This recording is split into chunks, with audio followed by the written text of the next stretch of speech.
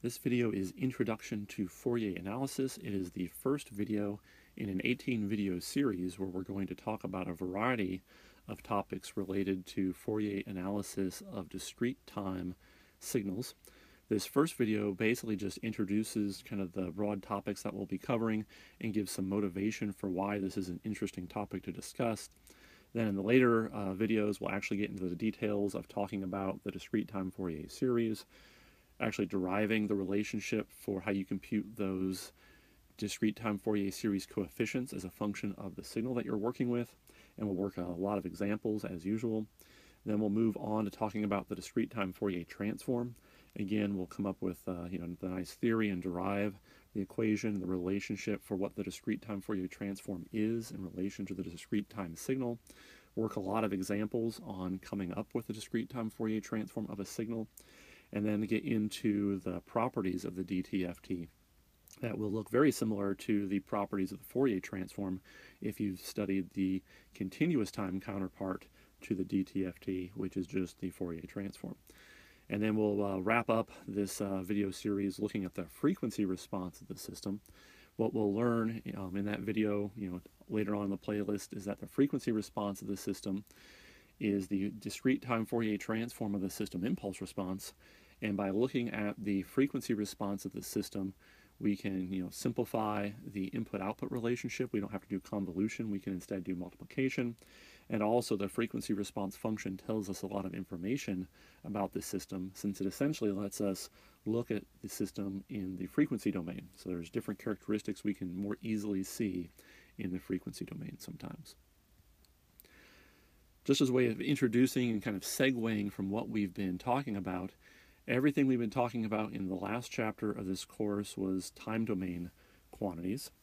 So in the last chapter, we came up with a clever way of writing any arbitrary discrete time signal as a linear combination of time-shifted and weighted impulses.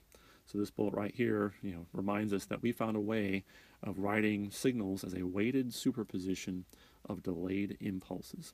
So there's a video on that on the previous playlist. That representation was very nice because when we were able to write the discrete time signal in that way, we were actually able to derive an input-output relationship for the system in the time domain.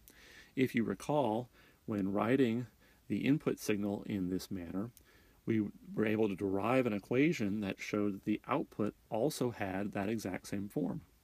So the output of our discrete time system was also a weighted superposition of delayed impulses. And we actually came up with an equation that related the input and output, and that input-output relationship was given by our convolution summation equation. So the last chapter, kind of our strategy was come up with kind of a clever way of writing inputs.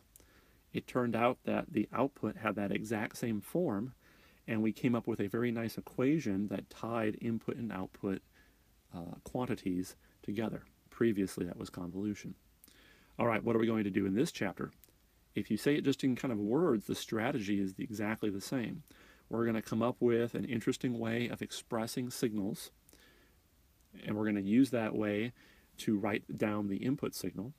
It's going to turn out that the output signal is also going to have that exact same form, and then we're going to come up with an equation that relates the input and output quantities. So we're going to come up with a new input-output relationship. So in words, the strategy is very much the same. Let's talk specifically now um, what, what that input relationship is and what that input form is. In this chapter, what we're going to do is we're going to find a way of writing discrete time signals as a weighted superposition, so it's still a weighted superposition, but this time it's going to be of complex sinusoids, in other words, complex exponentials e to the j omega k. So we're going to find a way of writing x of k equals a, you know, a function of a whole bunch of weighted complex exponentials.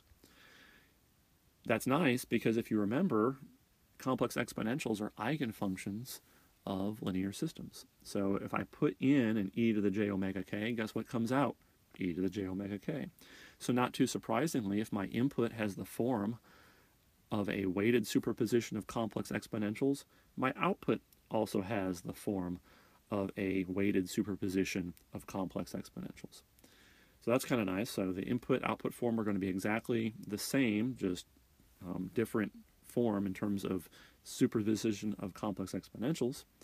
And then we're going to come up with a new input-output relationship. Previously it was convolution.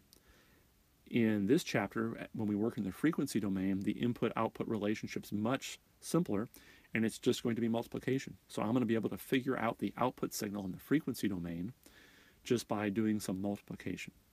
So that's where we're going. Not there yet, but just kind of giving you an outline of what this chapter is all about. Another nice uh, reason we like this complex exponential representation, besides the fact that it really simplifies things, is that if we can find a way of writing a discrete time signal as a weighted superposition of complex exponentials, we can just look at the complex exponentials and tell what frequency they are, so we can immediately understand the frequency content of a signal. So that's very nice. In general, when you do this type of decomposition of writing a signal as a sum of sinusoids or a sum of complex exponentials, the word that we use for that type of analysis is called Fourier analysis. In previous continuous time signals and systems class, you've come across this, right? Previously, if we had a periodic continuous time signal, we did Fourier analysis with a transformation that we called the Fourier series. So we always use the Fourier series, which I abbreviate with FS, to do Fourier analysis on periodic continuous time signals.